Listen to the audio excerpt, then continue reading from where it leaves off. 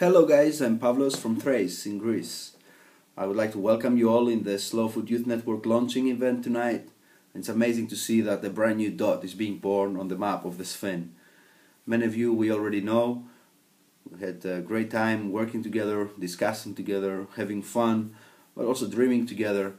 It's amazing to see that you guys went back and you brought many, many more people interested in discovering their food culture and mainstreaming our message for change and for better food in the world.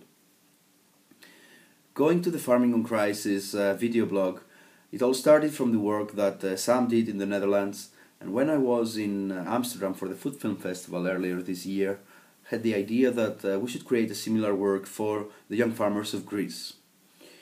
Um, Greece is a country which has attracted a lot of political attention in the last month, in the last months, and a lot of um, attention from the press.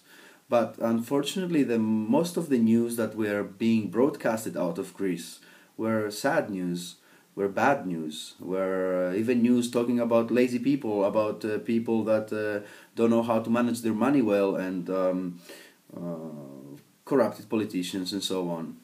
But the Greece I discovered through my journey throughout the country was a whole new different Greece. It was a Greece of hard work, of camaraderie, of solidarity, of collaboration, of innovation that the young people uh, are uh, putting forward uh, right now in my country in order to find ways and solutions out of the economic crisis.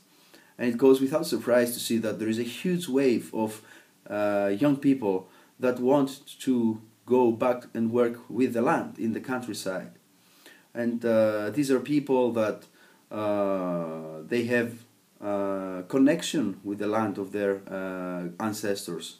Um, sentimental connection emotional connection. There are people that enjoy a very particular educational status. The young farmers of greece are educated people. They talk one two three foreign languages and they have university degrees. And um, they are trying to brand their products based on the myth and the memory that our country and our culture uh, brings with it, as you all know. And in my opinion, this creates a whole new landscape for entrepreneurship, sustainable rural development, and innovation uh, in Greece right now. And uh, very soon we will be able to see positive benefits, positive results uh, of this effort. And this is something that the whole of Europe will be able to capitalize as well uh, from the collective effort that is being taken from a young generation in crisis right now. So I'm particularly excited about the work that we did as the civil society, uh, the Slow Food Youth Network, that we tried to bridge uh, the food systems and the farming systems of different countries, but also from different sectors that are involved into the food system. And um, in Farming on Crisis, I had the opportunity to speak with small farmers, with large farmers, with organic farmers, conventional farmers, with guerrilla farmers in uh, urban gardens, but also the Minister of Food and Agriculture. And uh, this is a sort of discussion that has never happened before in Greece. And uh, another point is that like uh, we managed to get uh, uh an award in Hollywood in a short doc documentary festival. So I think the work that uh, it's a great opportunity that uh, we can mainstream our message to wider audiences.